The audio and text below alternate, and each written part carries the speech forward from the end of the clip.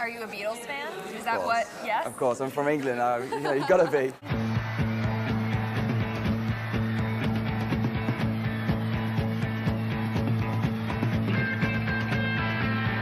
I'm an acrobat in um, Love, Cirque du Soleil, the Beatles, and uh, my main specialities are trampolining and bungees. What was it that made you want to audition for Cirque?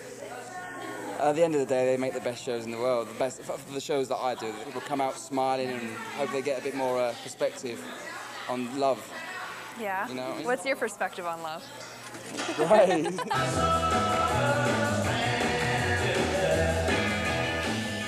We're hanging out in the theater while the performers are warming up for tonight's show. Hmm. Gotta be pretty flexible to do something like that. And what are you thinking while you're doing the show? Are you thinking of your next move, or are you kind of trying to relax, or how? Absolutely, always trying to keep one step ahead. You know, while you're on stage, and if it's a, an easier part, if it's a cue, then you're thinking, right, what have I got next?